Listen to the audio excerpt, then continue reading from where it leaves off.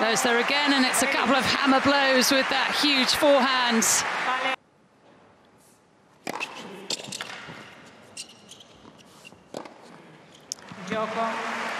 Ruud does well to get a racket on it, but can't produce too much from another thunderbolt from Felix Auger-Aliassime.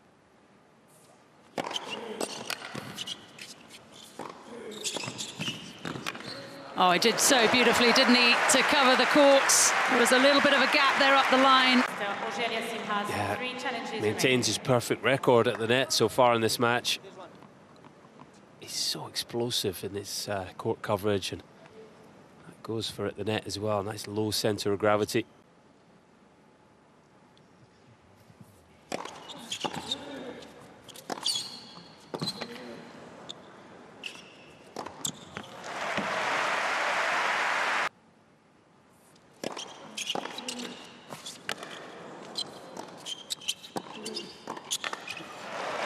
Sometimes you get lucky, sometimes you don't. The net cord.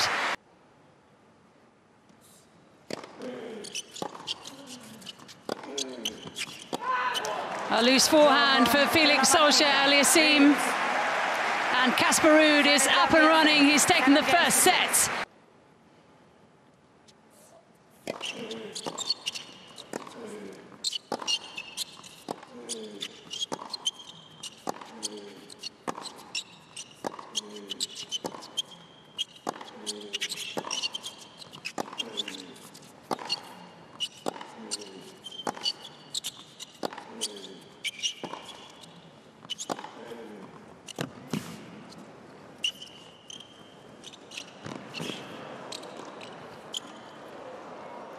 Oh, it's arguably the best point of the match so far. A terrific cat and mouse encounter.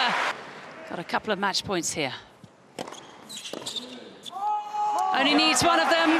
Wonderful start for Casper Ruud, the third seed here this week.